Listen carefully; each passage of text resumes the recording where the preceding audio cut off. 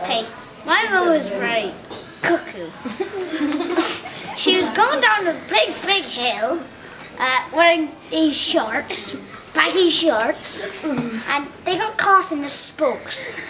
And she flipped over the front, put a, she flipped over the front, and the bike landed. it took the pants off her, and she had to ride the way home naked.